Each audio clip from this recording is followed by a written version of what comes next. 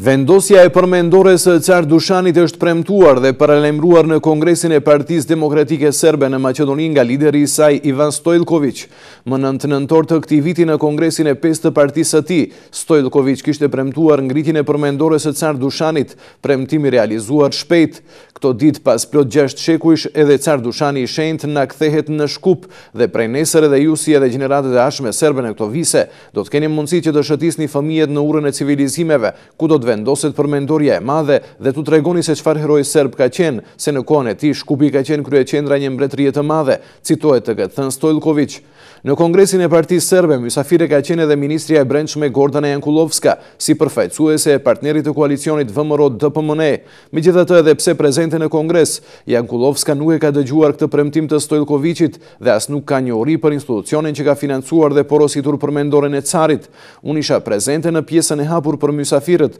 kështu që nuk mund të flas për të gjithë rendin e ditës dhe vendimet që janë vendime brendapartiake dhe janë miratuar në organet e ndonjë partie politike, qoftë ajo Partia Demokratike Serbe. Por me gjithë qejf mora pjesë në atë kongres në emër të bashkëpunimit të mirë në kuadër të koalicionit për Maqedoni më të mirë, tha Gordana Jankullovska, ministre e Brendshme. Në kongres si nikoqir ka marrë pjesë edhe Dragan Nedelkoviq, anëtar i Partisë Serbe dhe zëvendësministër i Kulturës. Por edhe përkundër kësaj, Ministria e Kulturës dje nuk kishte njohuri se kush e ka vendosur atë përmendore. Nga ana tjetër, lideri i Partisë Demokratike Serbe, Ivan Stojlkoviq, në një intervistë për mediat serbe të publikuar sot, përveç që është lavdruar për vendosjen e përmendores së Car Dushanit dhe përkujtimores në Zebërnjak të Kumanovës, ka paralajmëruar edhe iniciativë për ndryshimin e librave të historisë në gjuhën maqedonase dhe shqipe, Për të mënjanuar pohimet negative për popullin serb, para nesh ka mbetur punë detale dhe analizë për librat e historisë si në gjuhën maqedonase ashtu edhe shqipe, të cilat janë përplot me interpretime të njëanshme të ngjarjeve historike dhe insinuatave negative ndaj popullit serb,